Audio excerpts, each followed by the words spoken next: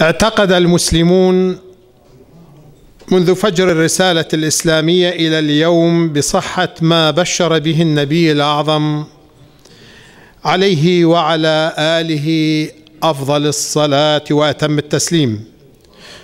من ظهور رجل من أهل بيته عليه السلام في آخر الزمان يسمى المهدي يملأ الأرض قسطا وعدلا كما ملئت ظلما وجورا. وعلى ذلك كان ترقب المؤمنين وانتظارهم مهدي الأمة الإمام محمد بن الحسن العسكري عليه السلام. راجين الله تعالى أن يعجل ظهوره الشريف. والان احبتي مع زيارة آل ياسين والدكتور توفيق فاستقبلوه بالصلاة على محمد وآل محمد.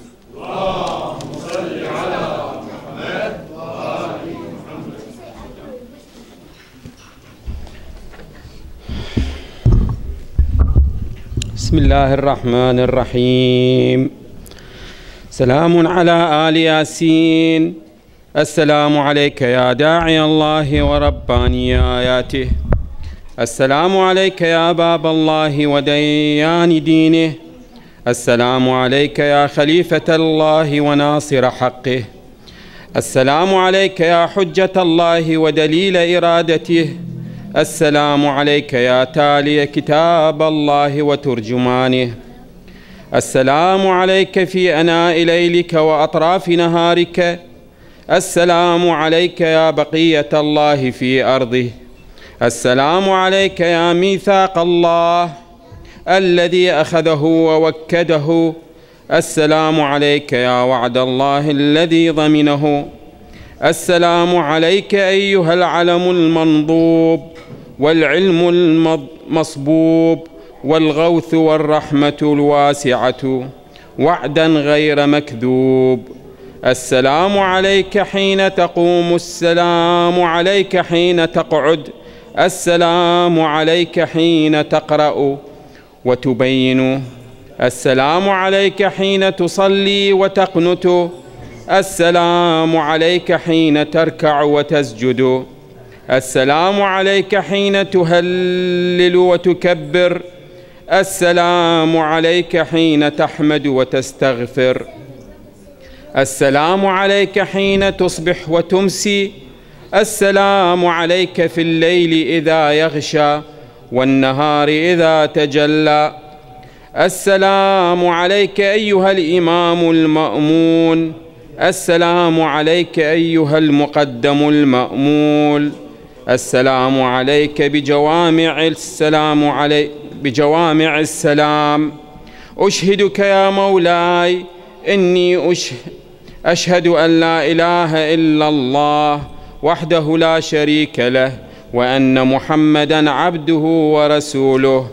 لا حبيب إلا هو وأهله وأشهدك يا مولاي أن عليا أمير المؤمنين حجته والحسن حجته والحسين حجته وعلي بن الحسين حجته ومحمد بن علي حجته وجعفر بن محمد حجته وموسى بن جعفر حجته وعلي بن موسى حجته. ومحمد بن علي حجته وعلي بن محمد حجته والحسن بن علي حجته. وأشهد أنك حجة الله أنتم الأول والآخر وإن رجعت وإن رجعتكم حق لا ريب فيها يوم لا ينفع نفسا إيمانها. لم تكن آمنت من قبل أو كسبت في إيمانها خيرا وأن الموت حق وأن ناكرا ونكيرا حق وأشهد أن النشر حق والبعث حق وأن الصراط حق والمرصاد حق والميزان حق والحشر حق والحساب حق. والجنة والنار حق والوعد والوعيد بهما حق. يا مولاي شقي من خالفكم وسعد من أطاعكم. فأشهد على ما أشهدتك عليه. وأنا ولي لك بريء من عدوك. فالحق ما رضيتموه والباطل ما أسخطتموه. والمعروف ما أمرتم به والمنكر ما نهيتم عنه. فنفسي مؤمنة بالله وحده لا شريك له وبرسوله وبأمير المؤمنين. وبكم يا مولاي أولكم وآخركم ونصرتي معدة لكم ومودتي خالصة لكم. آمين آمين. وصلى الله على سيدنا محمد وآله الطاهرين.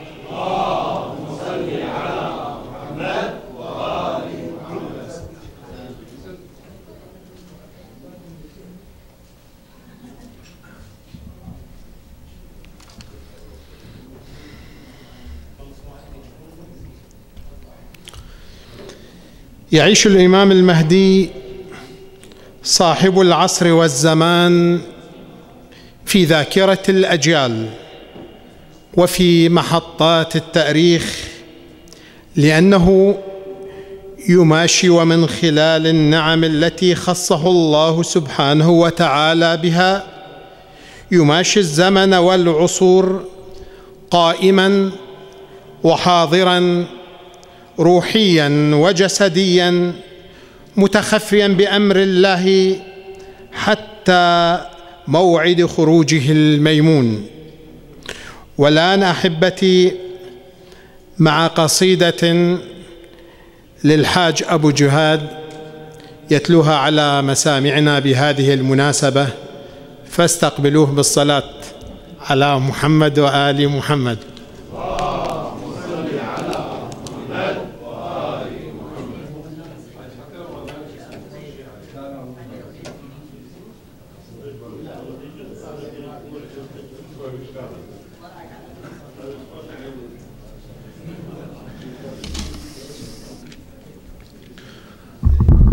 اللهم صل على محمد وآل محمد.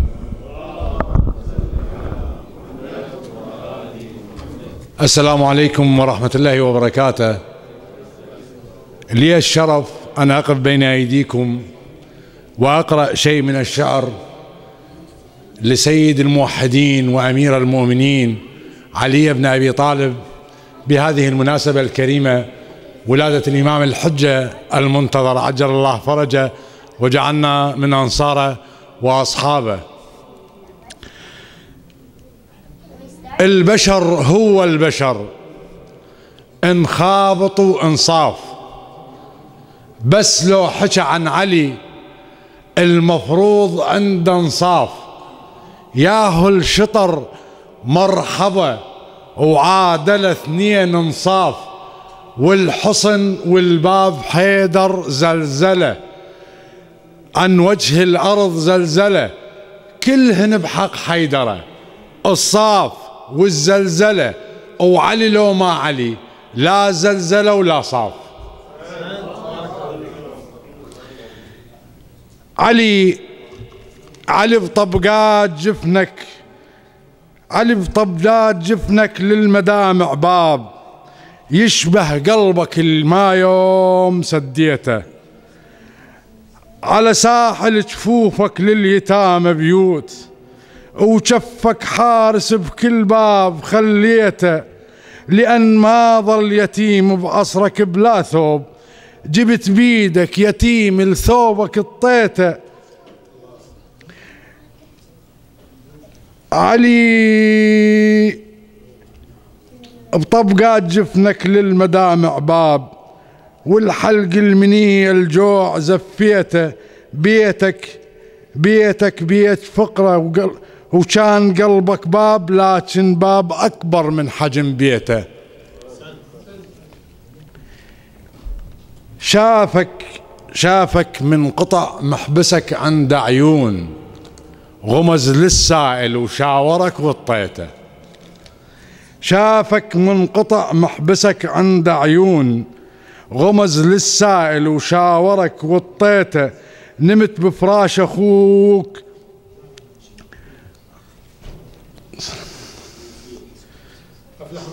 اللهم صل على محمد وآل محمد. يا جماعة أنا أعتذر ترى ما محضر أي شيء. هيك القضية صارت عرضية. إجا شفك الخيبر دق عليك الباب. خافك توجعه. لو رحت دقيته سويت ببدر بالروس شحة روس وثوب ارواحهم عالسيف شريته. معاضد روسهم معاضد روسهم بزنود ذي الفقار و بدموم كل حرب حنيته. خلينا نترك هاي القصيدة أحسن. اكو مقطوعة أخرى راح أقرأ لكم إياها أنا حافظة عن عن ظهر الغيب لأن القصيدة هاي حقيقة أنا ما ما مستعد لها يعني يعني هو يحترم حرجني الموضوع. ردت أبطل وقلت ما أكتب شعر وقلت خل نهجر قوافية الطويلة والقصيرة والمربع والنثر ولو أنا موش ناسي تذكرت مولد إمامي البيه للأمة نصر وحرت شكتب وانشدت بحر الشعر. قلت له شكتب قال اكتب المهدي الامة وانت مأجور على تعبك واحكي كل شي ولا تخاف. واللي يخاف ما يميز بين إيمان وكفر. واحكي كل شي اللي تعرفه من رسول الله ولحد هذا العصر. والسلام عليكم ورحمة الله وبركاته. طبعا عريف الحفل حطني بمازق لأن أنا ما كاتب كل شيء ولا محضر كل شيء واليوم راجع من السفرة مالتي.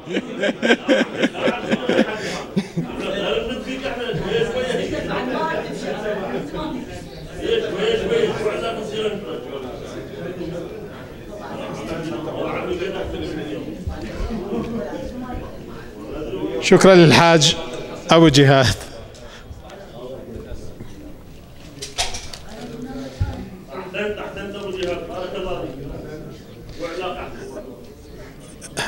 والآن أحبتي كما تعودنا في كل مناسبة تقوم حسينية المصطفى وتثمينا منها وتقديرا لجهود المتميزين من خدمة المنبر الحسيني.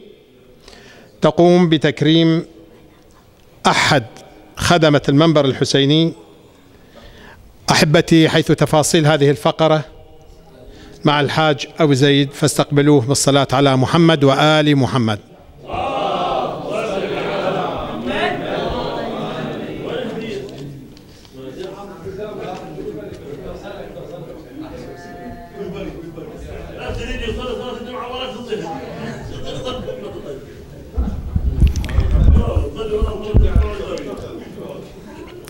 أفلح من صلى على محمد وآل محمد.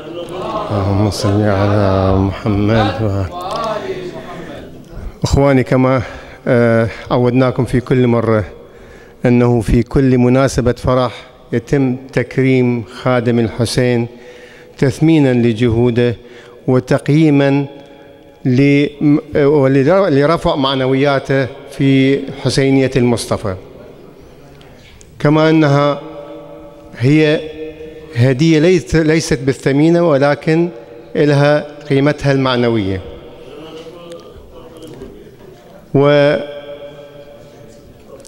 ونجمنا الصاعد لهذه الليلة خادم الحسين المتميز الحاج عبد الحسين السويلمان. صلوا على محمد وآل محمد.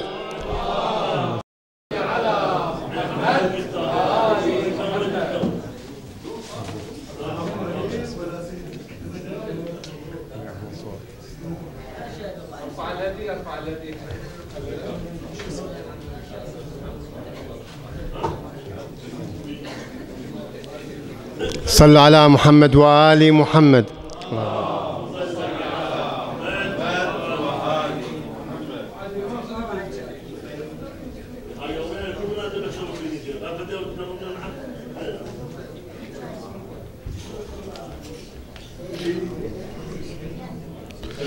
مبارك. للأخ عبد الحسين السوالمان.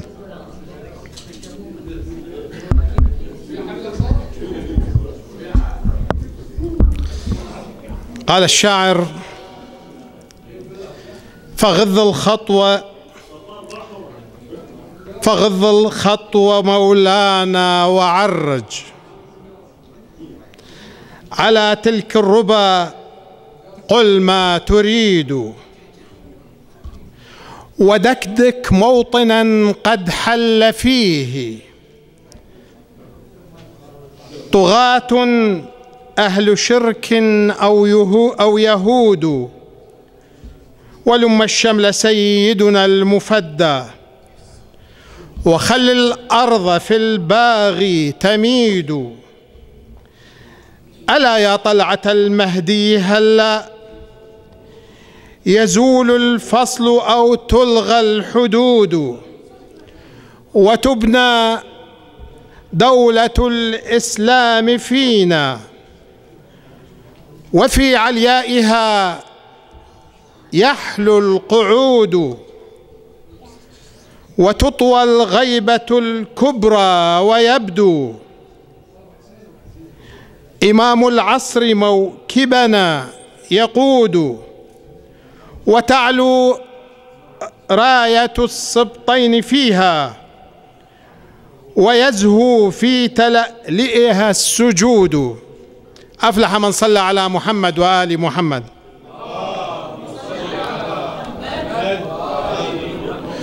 والآن أحبتي مع قصيدة من وحي المناسبة يلقيها على مسامعنا الشاب مرتضى الخفاجي فاستقبلوه بالصلاة على محمد وآل محمد.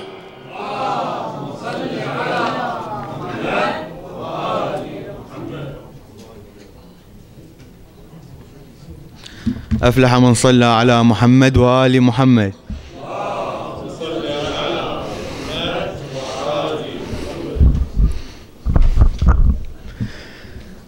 بسم الله الرحمن الرحيم. زعلتك أدري شنو عذري يلي أمري بين يديك. وانت من طبعك تسامح يا إمامي يا أبو صالح. دمعي يجري هذا سهري بس عليك.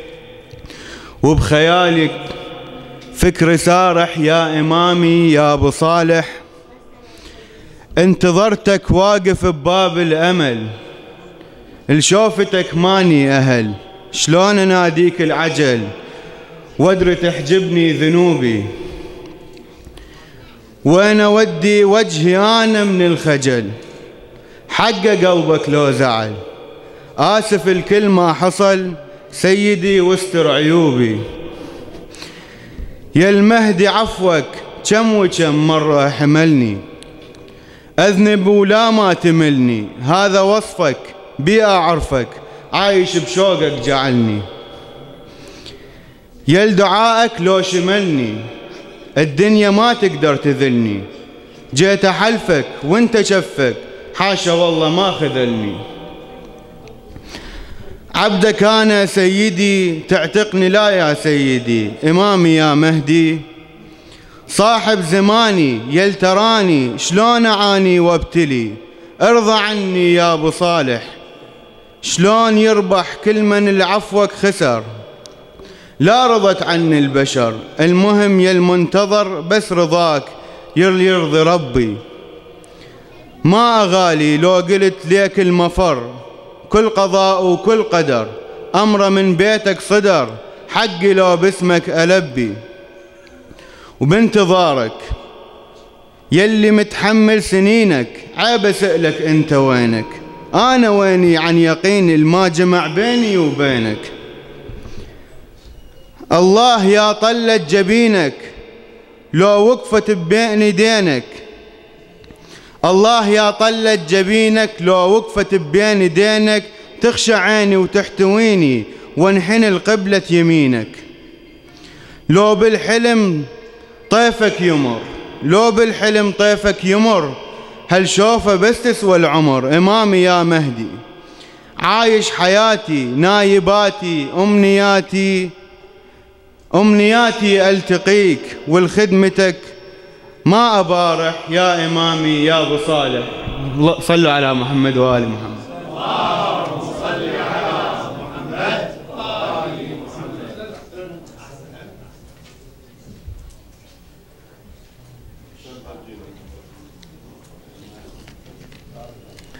أحسنت بارك الله فيك. أحبتي لم يكن مفهوم المهدوية حكرا على المسلمين فحسب. فالإنسانية بأسرها تبحث عن الأمل والخلاص بطرق متعددة تقودها في المحصلة إلى هدف واحد ينجي البشرية من عذاباتها وآلامها.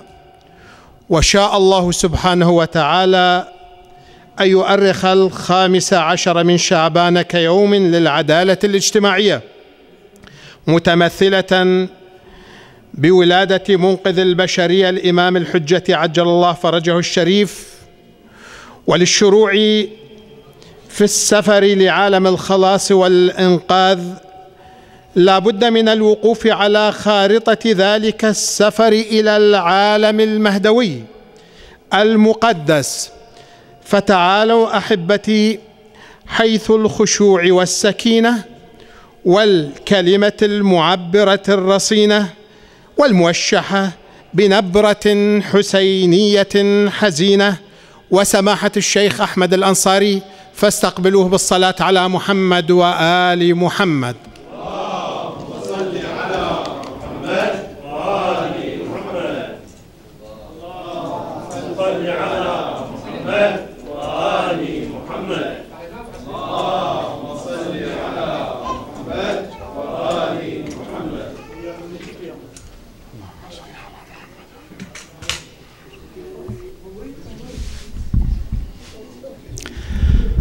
أعوذ بالله من الشيطان الرجيم. بسم الله الرحمن الرحيم. الصلاة والسلام على أشرف الأنبياء والمرسلين محمد وآله الطاهرين.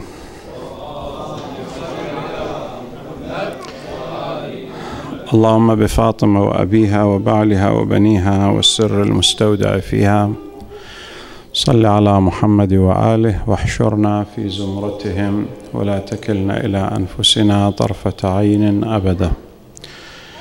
أرنا الطلع الرشيد والغر الحميد واكحل نواظرنا بنظرة منا إليه عجل فرجه سهل مخرجه أوسع منهجه.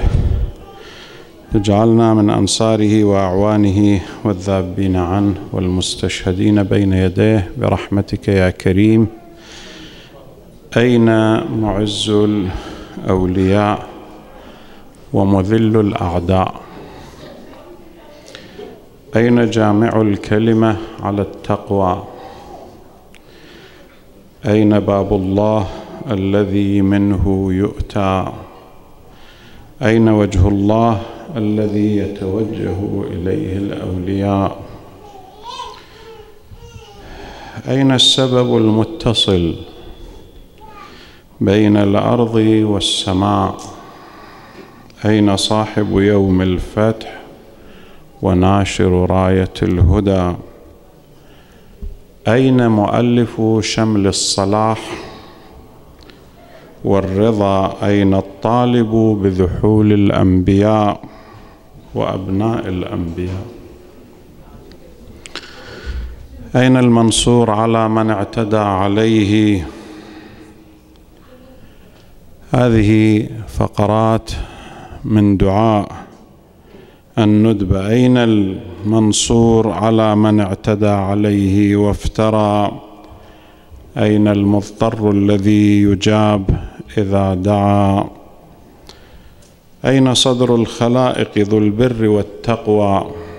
أين ابن النبي المصطفى وابن علي المرتضى؟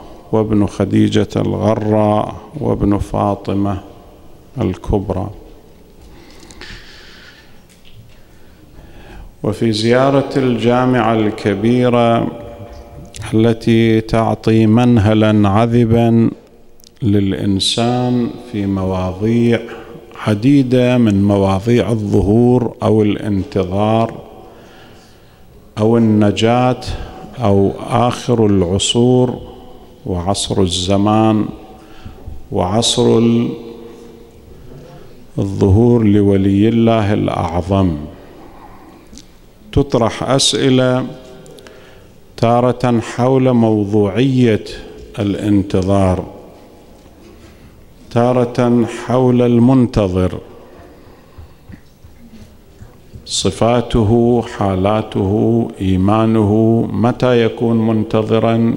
كم وكم حتى يدخل في دائرة الانتظار وكيف وهل يخرج الإنسان من الانتظار مع ما أن الزمان زمان انتظار؟ هل في أن أخرج من هذا الزمان؟ ما معنى الانتظار؟ ماذا يراد بالانتظار؟ ماذا نريد من الانتظار؟ أين أنا من الانتظار؟ كرجل كامرأة كصاحب بيت صاحب عائلة.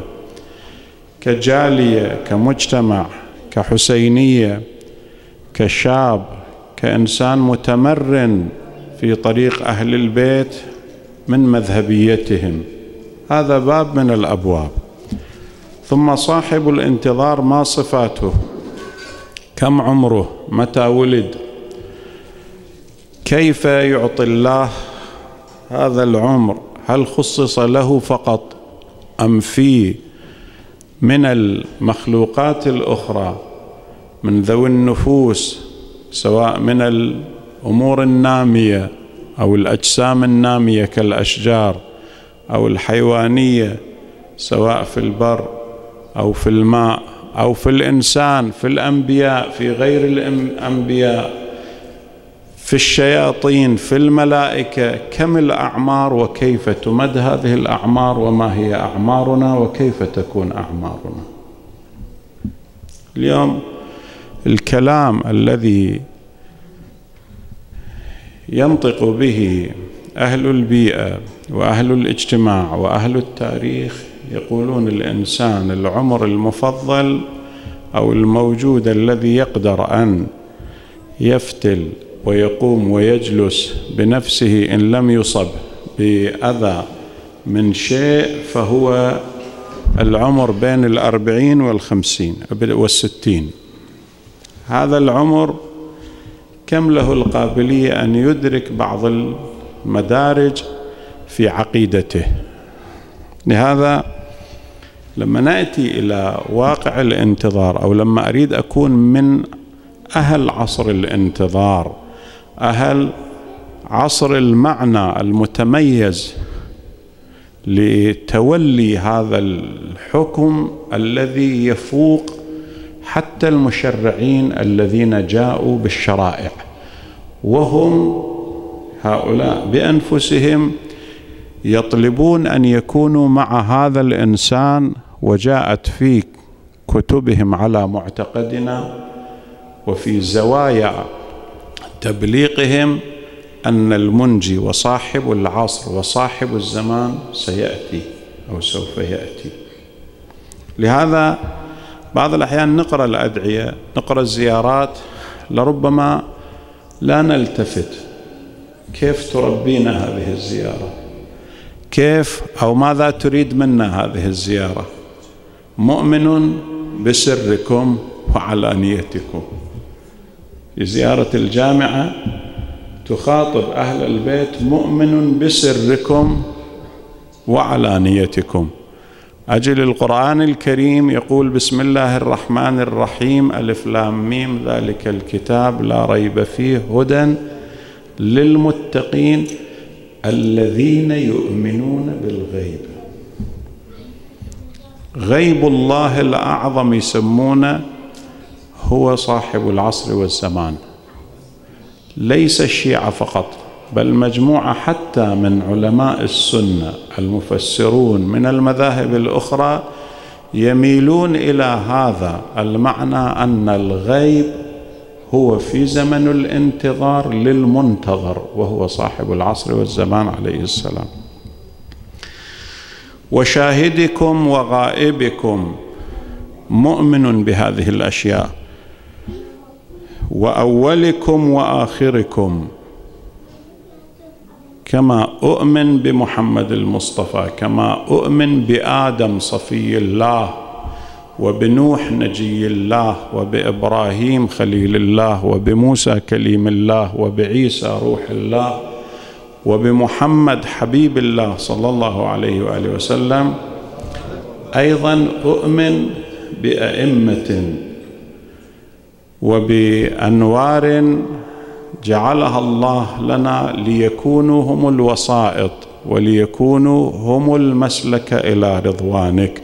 فبعض أسكنته جنتك إلى أن أخرجته منها وبعض وبعض. فترى أن هذه الأدعية تجرنا كيف نستفهم ونستفحل بعقولنا حيث نفك هذه العقد لنل ولنصطف في صف أراده الله لنا مع مهدي آل محمد الإمام المنتظر. مفوض في ذلك كله إليكم ومسلم فيه معكم وقلبي لكم مسلم ورأيي لكم تبع. هنا ونصرتي لكم معدة قلبي لكم مسلم. ورأيي لكم تبع ونصرتي لكم معده كيف أكون مع صاحب العصر والزمان؟ أو متى أقدر أن أقول أنه أنا معك؟ أول شيء جذور المعية. مع صاحب العصر والزمان عليه السلام ما هي جذور المعية؟ كيف أكون معه؟ أكو واحد يقول أنا ما ماني معه. هل منا من ينكر أو لا يريد أن يكون مع صاحب الزمان؟ اذا ما هي الطرق؟ كيف أتجذر بهذا المعنى؟ بمعية صاحب العصر والزمان؟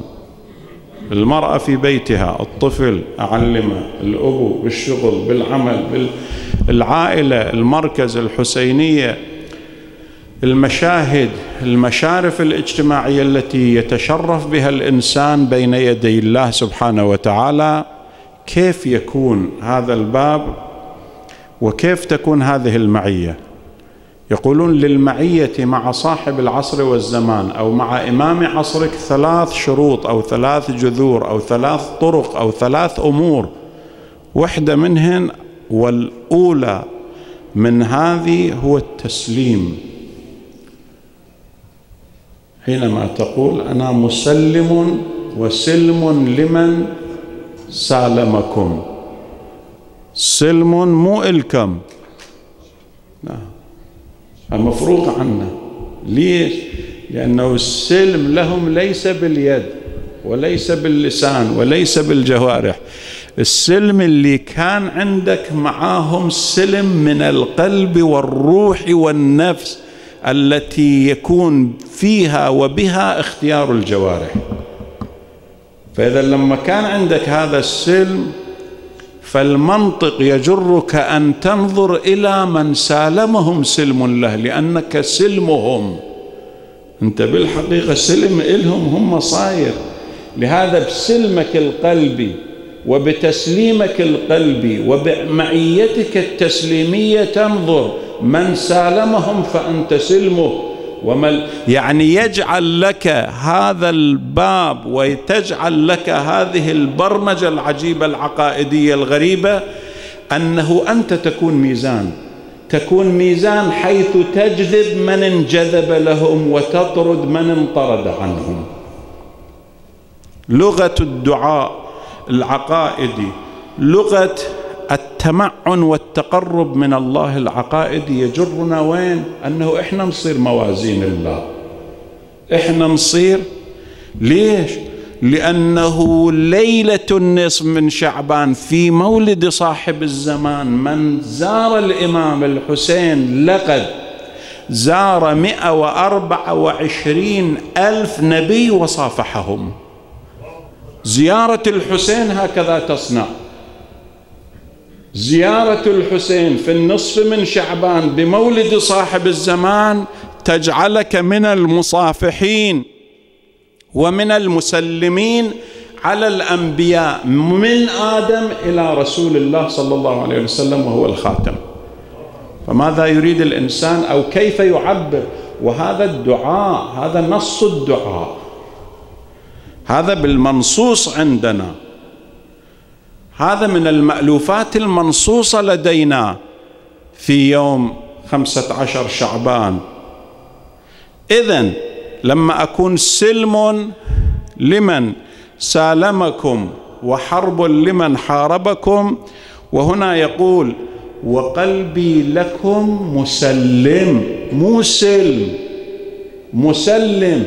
يعني ما في شيء يقوله. قال الباقر قال الصادق إلا وأنا كاسم فاعل يعطى الإنسان مسلم بذلك مسلم يعني جاهد فيه وعارف بحقه. اذا أول قاعدة أنه كن نفتح الأبواب على معيتنا أو من معيتنا في أهل البيت أن نكون سلم لهم مو أعترض. ليش هذا؟ هيك وشو تفهم أحسن من الإمام؟ إذا تكون سلم إلى روح شوف أنت أين من هذه القاعدة؟ أنت أين من هذا الباب؟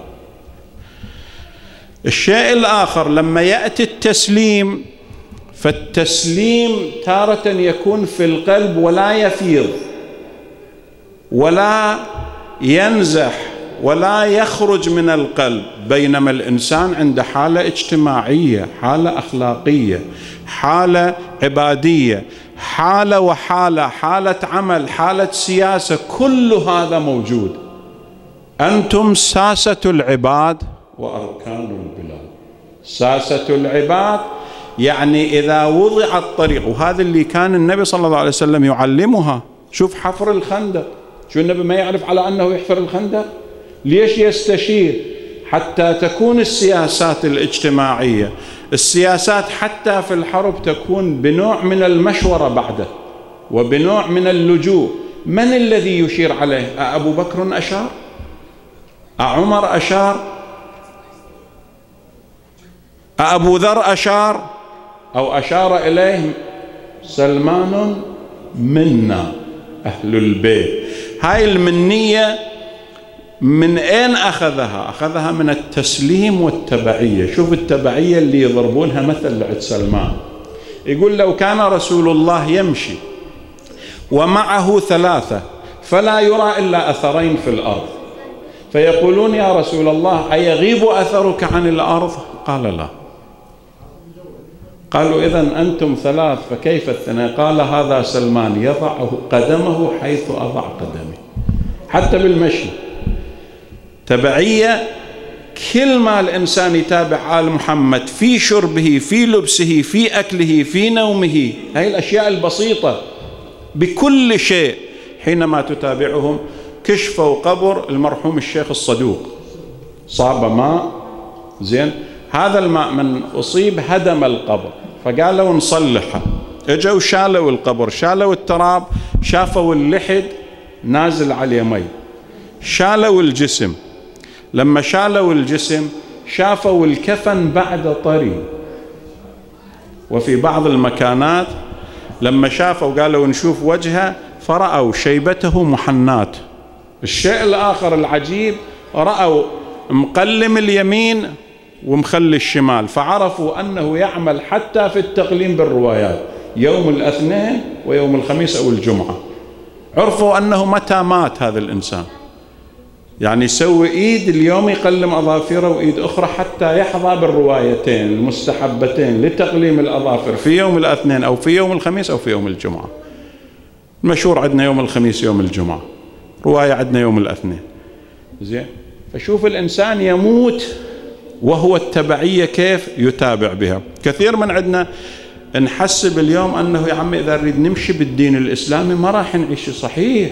ليه؟ لأنه المشاكل اللي قاعدة عندك الغزو اليوم اللي قاعد يصير. شوف لما تجي لعد تفسير آية من آيات القرآن الكريم والليل إذا يغشى. الظاهر شنو لما يضع سدوله على والنهار إذا تجلى. تجي لعد أهل المعرفة يقولون الليل إذا يغشى هو الظلم على النفوس على العباد. هي الدماء التي تهراق من هنا ومن هناك.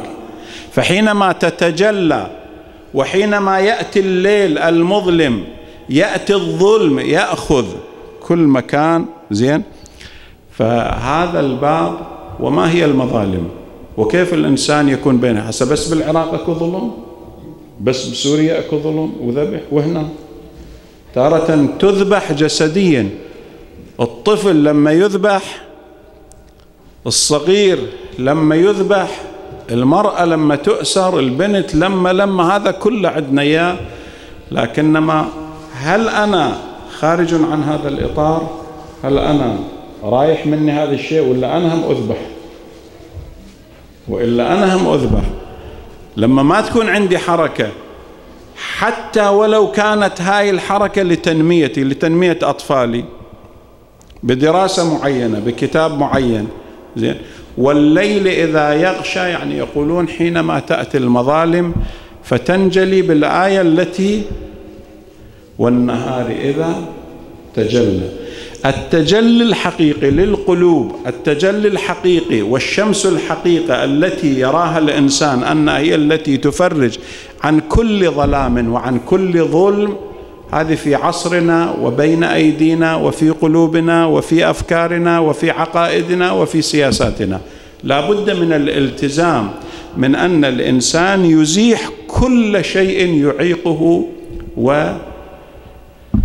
ويبعث الشك والظلام في قلبه وفي روحه وفي معناه لعقائده. شاهد الثالث من أمور التبعية أنه كيف الإنسان يكون فمعكم معكم لا مع غيركم آمنت بكم وتوليت آخركم بما توليت به أولكم. زين. الأمر الآخر وهو أنه لما يكون عندي تسليم ولما تكون عندي تبعية لهذا الإمام أو لهذا الدين أو لهذا الموضوع فتأتي طريقة الإعانة والإغاثة. كيف أعين هذا الدين؟ كيف أعين هذا؟ هسه واحد يقول والله أنا ما عندي فلوس والله أنا ما عندي خمس والله أنا ما عندي زكاة والله لا لا مو كله بالعطاء المادي. كيف تكون مع أهلك الخلق؟ مر علينا هذه السنة. أنا العام مرت علي كانت عندي كلمة بذيئة أبدأ فيها بالبيت. كانت عندي حالة مو زينة. كانت عندي مشكلة أشيلها. والله السنة اشتغلت على نفسي أنه أشيل كثير من هاي الأشياء اللي إذا فعصر الظهور تارة يكون عصر الظهور يختص بملامح للإنسان المعتقد المسلم بالظهور وتارة يحتاج أنه يبين نفسه لهذا المنتظر ولهذا الظهور.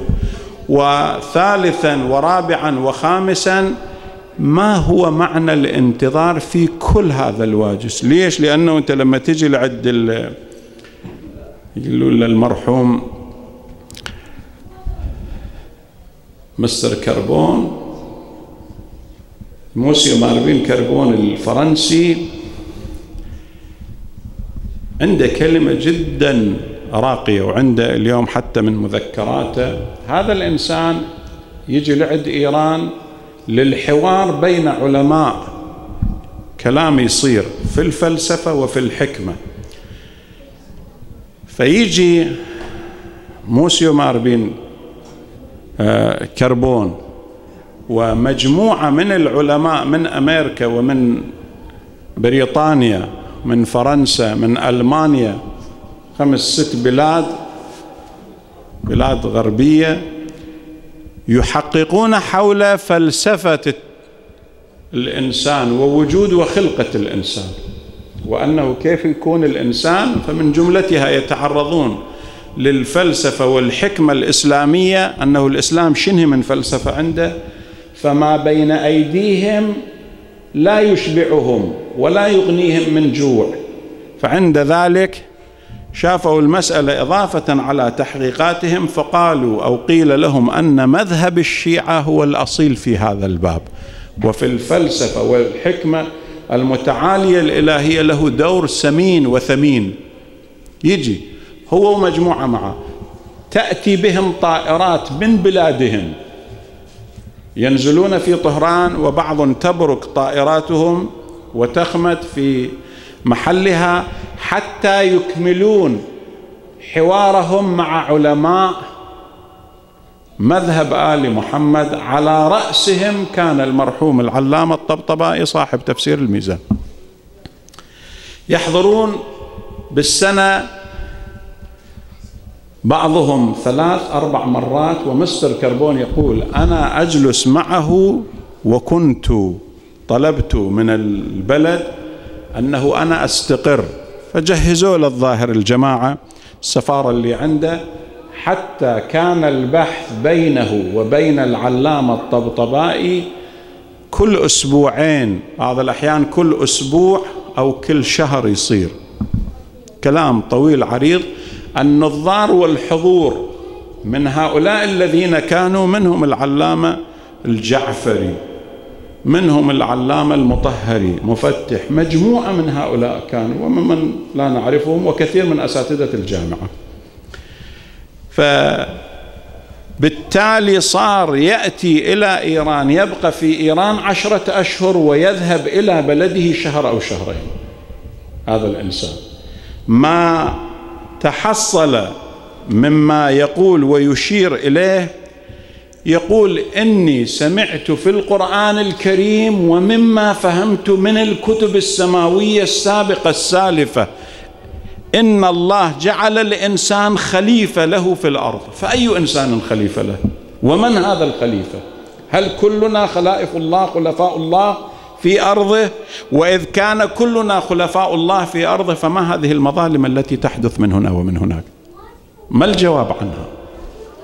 يقول إلى أن دخلت في هذا المسار وشفت الأمور بشيء أدق وأوسم حتى وصلت أن أي مذهب وأي عقيدة من العقائد السالفة والماضية والعقائد الآن الموجودة لديها هذا الوصل ولديها هذا الاتصال وهذا الاستخلاف الحقيقي لله سبحانه وتعالى.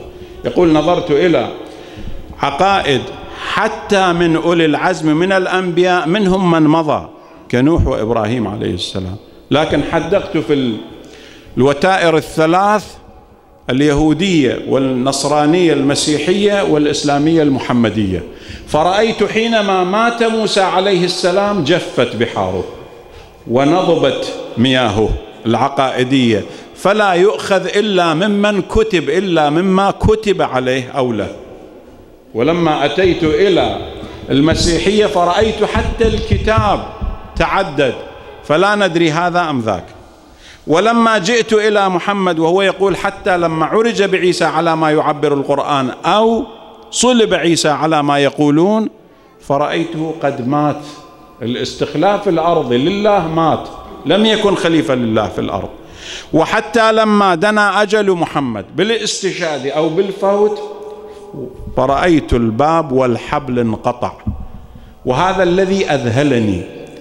إن الله سبحانه وتعالى يجعله بالجعل بالقرار والاستقرار. والجعل لا يقطع ابدا. جعل الإله لا يقطع. مو معنى أنه لا. والجعل الالهي لما لا يقطع لما لا يقطع لربما لا يرى. كما أن نذهب من طوال العمر لبعض الأنبياء أو لبعض السادة أو لبعض الإنسان أو لبعض الحيوان اليوم اكتشفوا حوت. اكتشفوا حوت من الحيتان عمرها أكثر من مئة ألف سنة. خذوا خلية منها مئة ألف سنة وهي تدور بالبحار.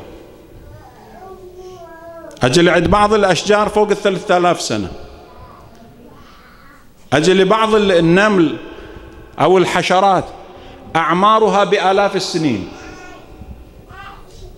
أجل عند بعض التربة. زين؟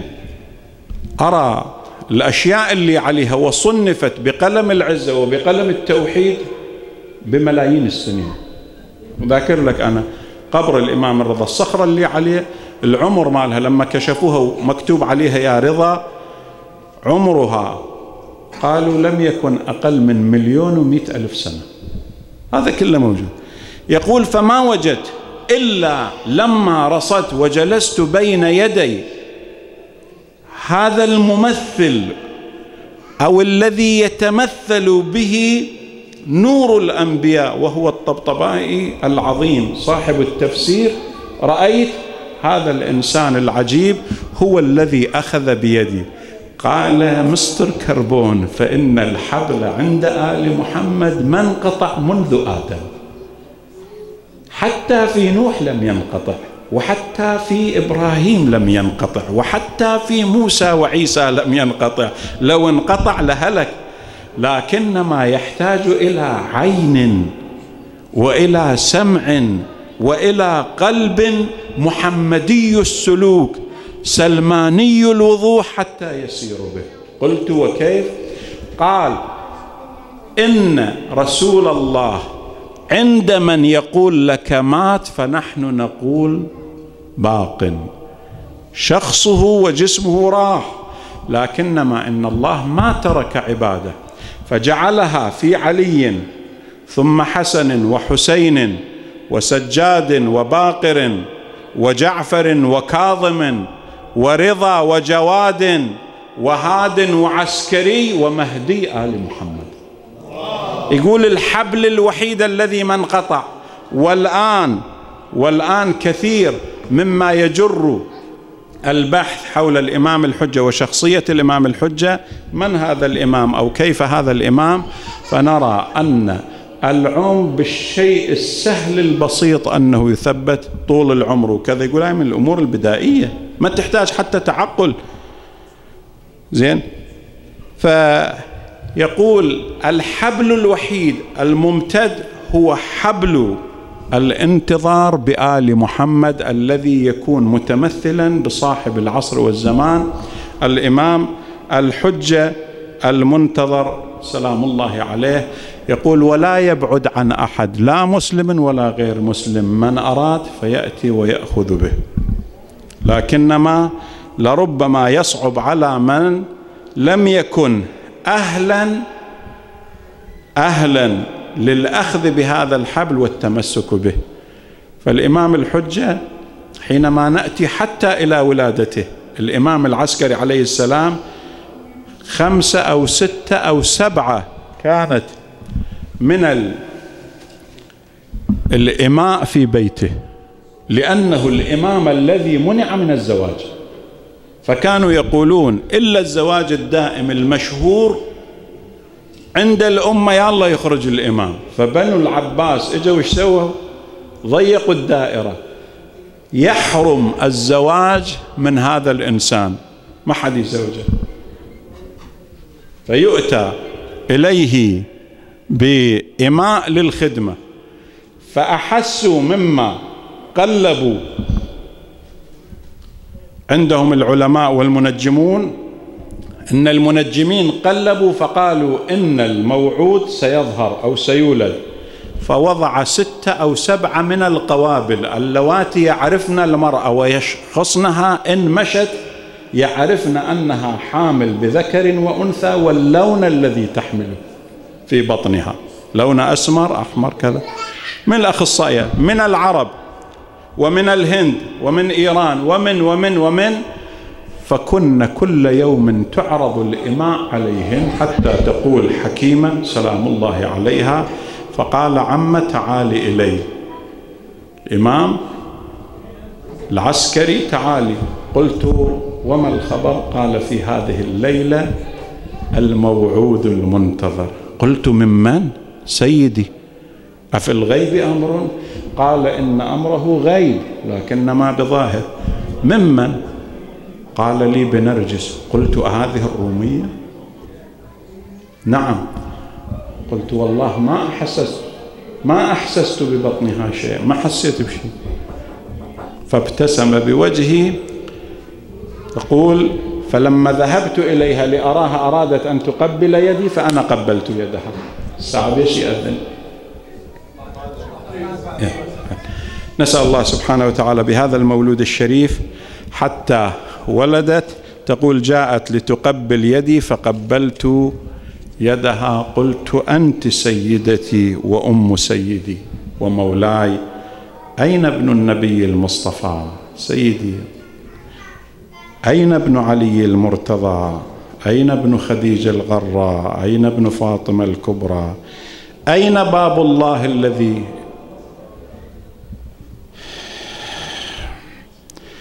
إليه ومنه يؤتى؟ أين وجه الله الذي إليه يتوجه الأولياء؟ اللهم اجعلنا من أنصاره واجعلنا في زمرة من يسلم بأمره ويتكل على كتابه وقرآنه وبالنبي وآله أفلح من صلى على محمد وآل محمد.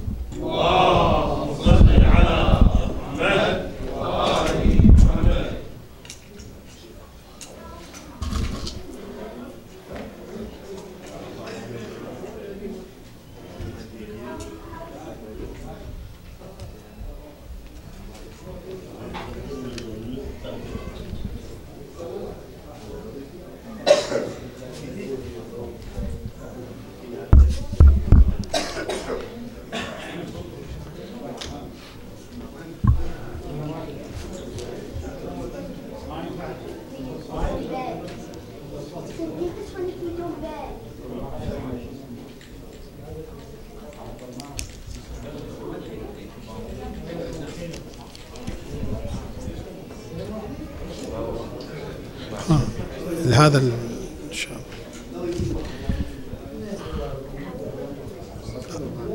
مع أحبتي ويبقى لشبابنا حضور متميز في كثير من المناسبات الدينية وبالأخص في هذه المناسبة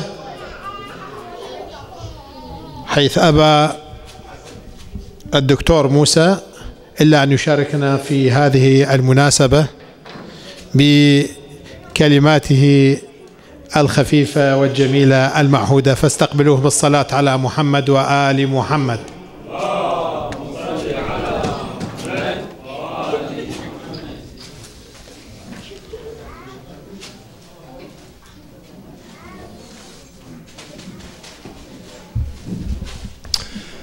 السلام عليكم Hey guys, guys, guys, guys السلام عليكم, how are you? الشيخ تو خلص He just finished and he's like, you know Musa come talk to these guys So the Sheikh was just talking about this Rumia, this Roman woman He called her Narjas You know, the mother of the Imam of our time يعني we cut him short so let's finish his story Okay, it's a happy time So you all know many you know Disney stories and happy things So let's have a happy story before Salah time so there's this Roman lady, this Roman princess, and she was about to get married. And, you know, the Romans, they want to have a big happy party. And there was an earthquake, so they delayed the wedding. And then they were going to have the wedding another time. And there was another earthquake, and they delayed the wedding. This princess, this Roman princess, Narjas, she had a dream where she saw Prophet Muhammad, right, talking to Prophet Isa. And he said to him, We would like to marry our son, Al Askari, to your daughter, Narjas. And long story short, they eventually met and she married him, right? And then remember how he said at the very end, Sheikh Lansari said, You know what? She gave birth, but no one can tell. Right? Do you guys know why no one could tell that Narjas had Imam al Mahdi? Why no one can tell that she had the signs of pregnancy on her? Do you guys remember the story of Nabi Allah Musa and how his mother gave birth to him and how she didn't have the signs of pregnancy on her?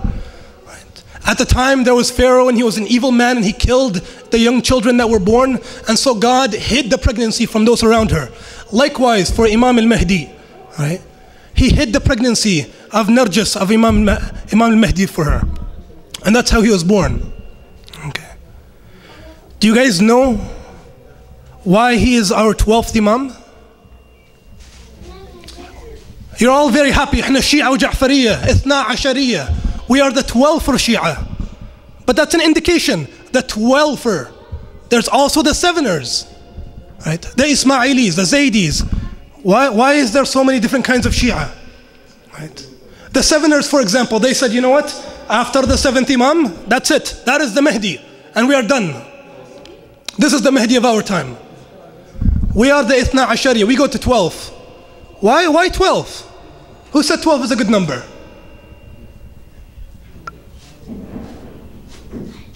How many chiefs did Musa have? How many chiefs did, did Moses have? 12. How many disciples did Jesus have? 12. Is it surprised that God would give Muhammad 12 after him? And if you were listening to Sheikh Al-Ansari a moment ago, he was saying God never leaves the earth without a Khalifa. Right. Is it a surprise that we have a Khalifa that is still currently alive? We all say, يا ليتنا كنا معك يا سيدي فنفوز فوزا عظيما Oh Abba Abdullah, if we were with you, we would win a great victory. The Imam of our time, he is still alive. And we can be with him. And we can join him. Maybe you've heard of Dua and Nudbah. Right? Maybe ask mom and dad, how can I be there with Imam al-Mahdi? How can I get closer to him? Maybe you remember a few years ago where Sheikh Al-Ansari was talking about uh, Masjid Jamkaran. How a lady had her daughter and she was sick and she went to the masjid and Imam al-Mahdi appeared before her to cure her. Maybe some of you think, oh, this is, the Mahdi will only appear in Arabia, only to the Muslim countries. Maybe you remember a few years ago we had someone come by here to Hamilton, Said Hassanain Rajab Ali. He was trying to start an Islamic organization. He needed $2,000. Someone walked into the building and gave him $2,000 to help him finish. Maybe that's just a very nice stranger. Or maybe it's the Mahdi. He doesn't know. He says maybe one or the other. You think, okay, maybe somebody, uh, people far away, the Mahdi sees them. A few years ago, one guy here in the matbakh, in the shabab, in the he was telling me, Musa, wallah, I think I saw the Mahdi with us. Right? So the, the Imam of our time is so close to us, not far away.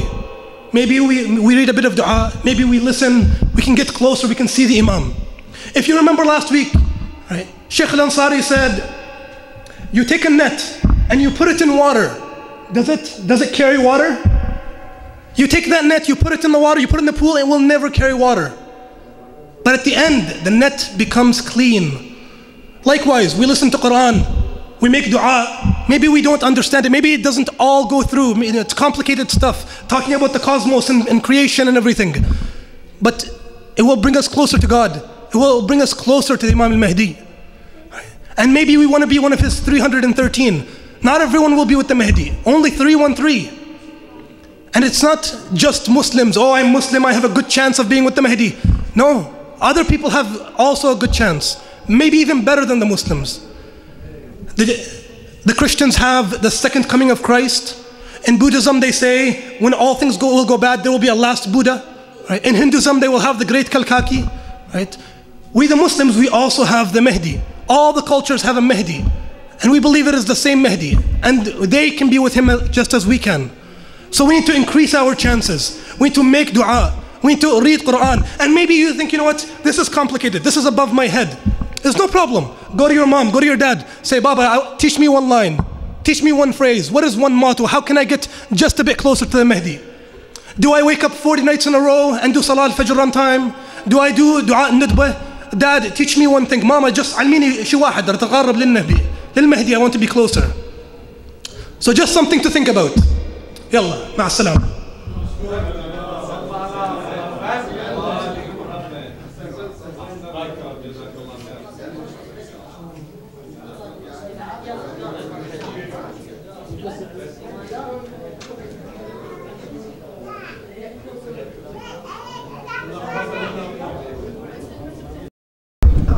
صلوا على محمد وآل محمد.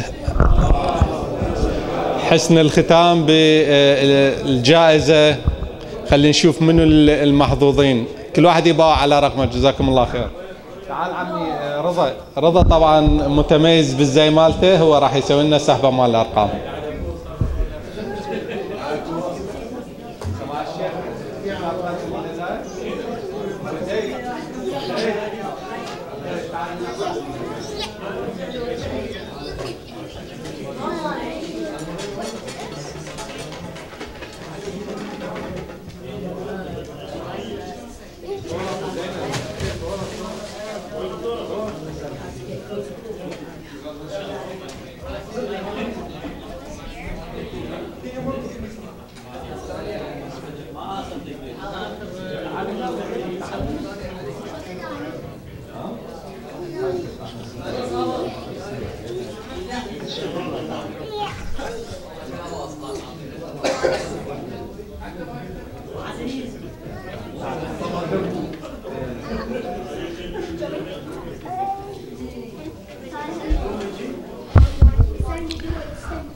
الفائز بالجائزة الأولى صاحب الرقم 8284 That's the last four digits.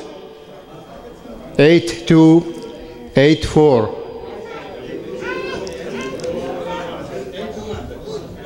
8284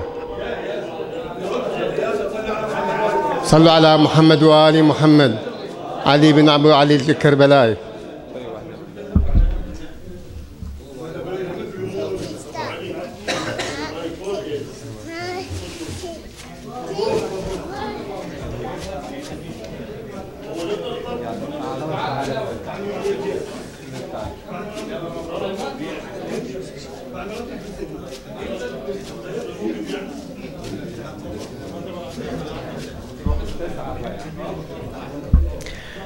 أما ال- الفائز الثاني في المسابقة صاحب الرقم 8301 صلوا على محمد وآل محمد. اللهم صل على محمد وآل لا لا.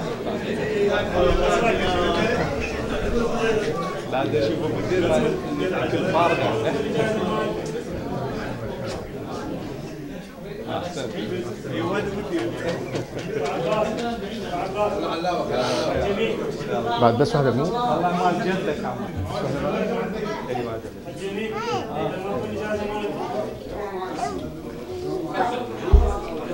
دكتور ما أخذت الصورة دكتور. صاحب الم... الجائزة الثالثة. الأخيرة مو؟ صاحب الجائزة الثالثة والأخيرة يحمل الرقم 8313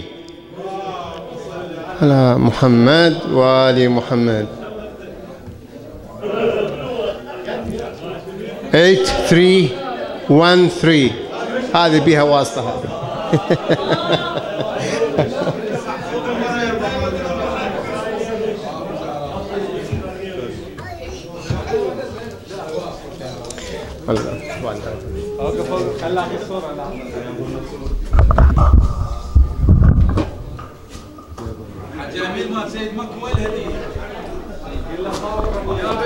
بيقول لي شو ما طلع؟ هاي 16 أسبوع شو ما طالع؟